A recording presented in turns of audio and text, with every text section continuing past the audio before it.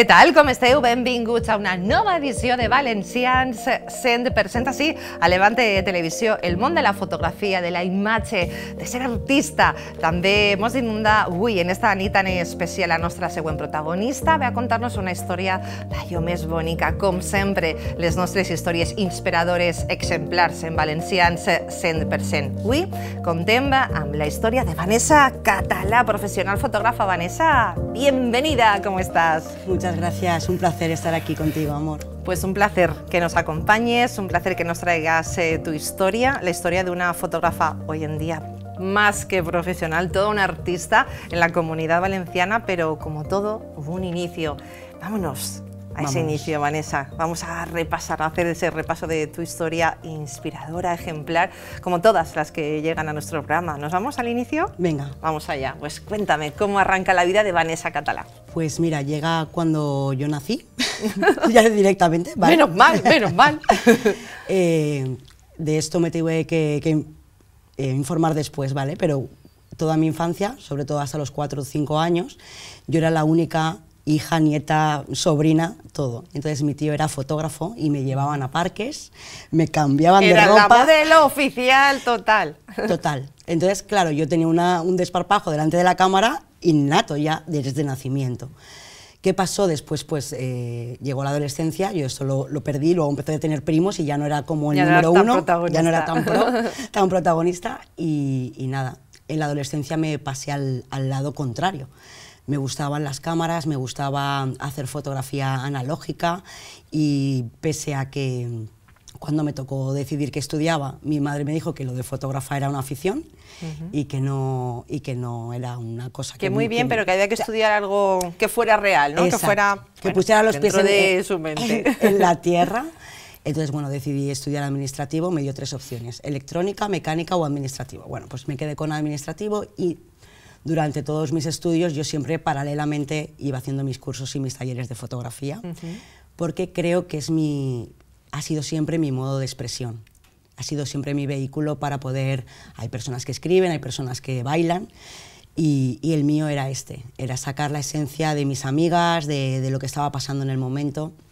Bueno, pues todo esto pasa, sigo como aficionada, eh, tengo mi primera hija, me quedo embarazada de la segunda hija, me despiden del trabajo y entonces eh, entro en una depresión brutal, en- caigo muy abajo, eh, me mandan al, al psiquiatra, bueno, hubo ahí un- Una crisis ahí una crisis importante. importante, pero me gusta verla ahora, ¿no? Cuando estaba ahí, Con evidentemente. perspectiva. Ujú. Sí, porque ahí fue donde me encontré conmigo por primera vez y decidí que, que ya tenía 30 años, acababa de parir, pero que yo quería ser fotógrafa. Y entonces mis dos nenas, bien pequeñitas, iban al cole y yo iba a mi cole de fotografía, pese a todo lo que me dijeron de, bueno, vas a estar ahora con ni- niños de 18 años, me da igual, yo quiero ser fotógrafa Exacto. profesional.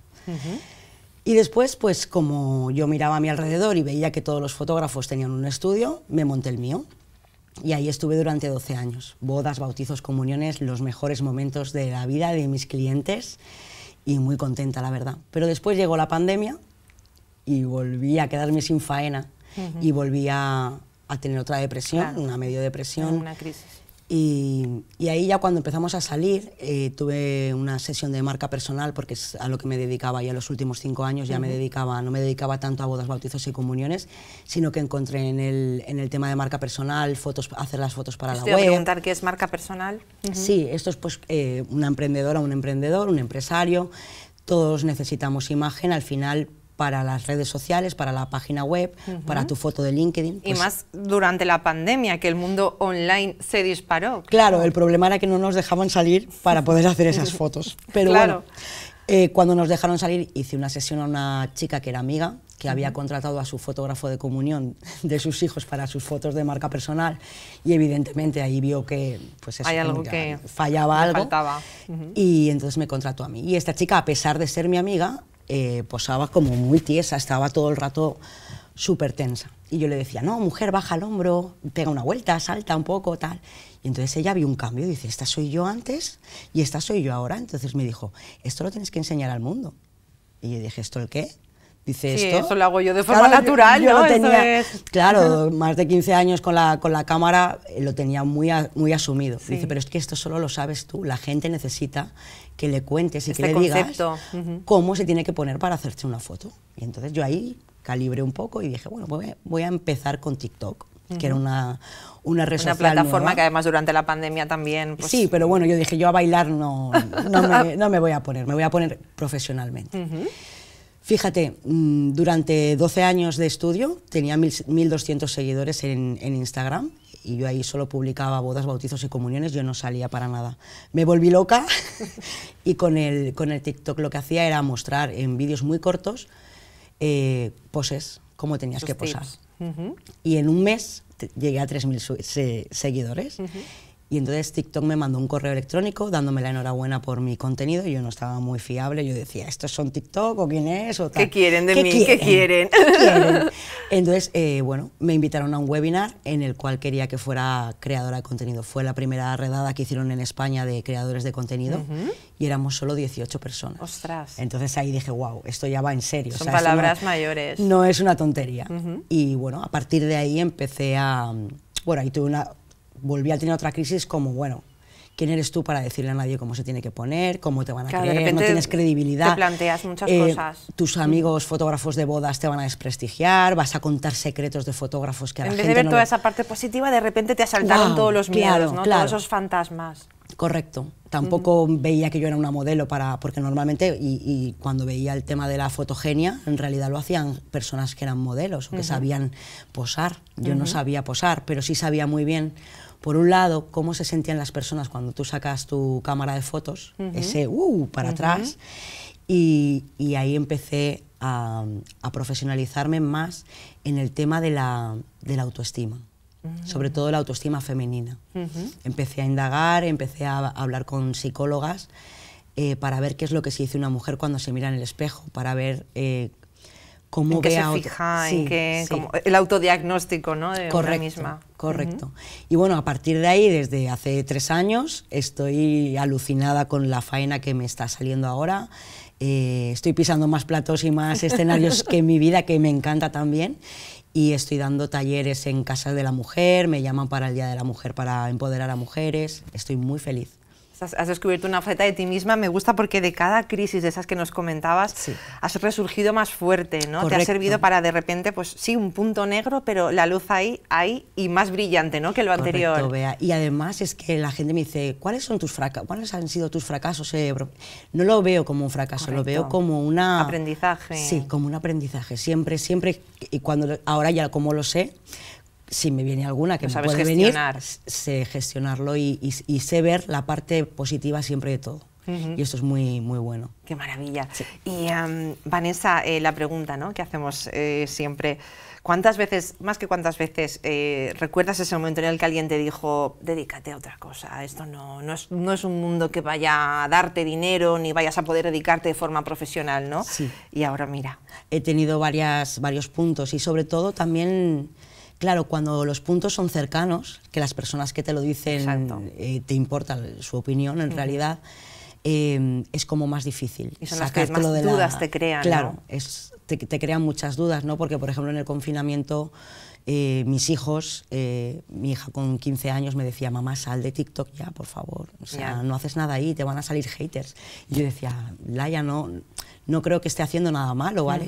Después tengo a mi hijo de 6 años que era, mi mamá es youtuber, A o sea, claro, a tope. Y- pero bueno, sí, al final es como dar las gracias por esa, por esa información, porque al final son sus propios miedos los que te, les indican o su forma de cuidarme, lo que les indican que no es el buen camino.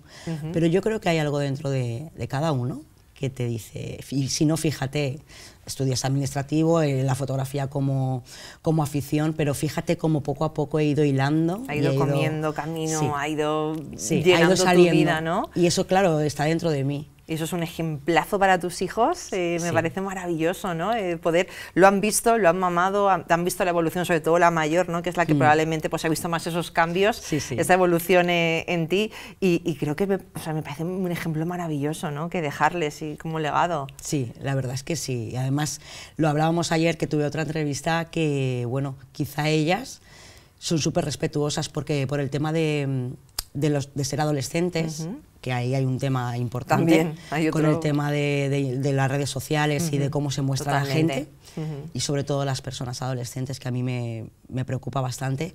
Mis hijas casualmente no tienen foto ni de perfil, o sea, mm, algo estarán viendo que- que, estamos haciendo bien. ¿Y, y- y el siguiente paso, la siguiente mira? ¿O no te lo planteas, simplemente te dejas, eh, dejas eh, fluir? Pues mira, ahora eh, el año pasado pensé, digo, bueno, la Beyoncé tiene una gira, yo me voy a montar otra. Esto es- esto Mi Bellón gira. Mi gira, ¿no? Se llama Photoshop, porque es un shock, ¿no? O sea, en realidad es para hacerte fotos, pero como, como mirando las creencias, todo lo que piensas sobre ti, es como hacer un reset en, Qué tu, guay. en, en En ti misma, en- desde que eras pequeña, qué es lo que te decían cuando te hacías una foto, qué es lo que piensas que eres, cómo la auto... Lo el que hablábamos antes, el autodiagnóstico lo que hablábamos diagnóstico, antes. ¿no? Ujú. ¿Quién soy yo? ¿Cómo me muestro y, y qué es lo que quiero mostrar también, no? ¿Cuál es el muchas mensaje veces, que quiero? Claro, la gente dice, ¿para qué me voy a hacer fotos? Ya, bueno, eh, ¿qué es lo que quieres mostrar en esas fotos? Y entonces a partir de ahí empezamos a hablar de cómo te ves tú y de cómo te ven los demás. De lo que tienes que hacer. Hay una- exacto. Claro, yo siempre lo digo a mis clientas, tú seguro que tienes una amiga que sale guapísima en las fotos. Sí, sí, mi prima. Yo voy a preguntarle a tu prima y seguramente no sea ella la que salga también, sino tendrá otra persona. Entonces iremos ahí Tirando del preguntando hilo. y tirando del hilo. Entonces, bueno, pues esta gira va, eh, me propuse el año pasado ayudar a 100 personas a que salieran bien en las fotos y lo conseguí. Y entonces ahora ya lo siguiente es volver a hacerlo, siempre mejorando la, la técnica, la práctica y todo el tema. Y bueno, pues lo que quiero yo para mi futuro es seguir, que esto siga siendo vivo, porque a mí como artista no me gusta hacer lo mismo muchas veces. Entonces, eh, como te he dicho, estoy ojo a visor a todo lo que sale como nuevo. Estoy con la inteligencia arti- artificial Bueno, a, a tope, tope.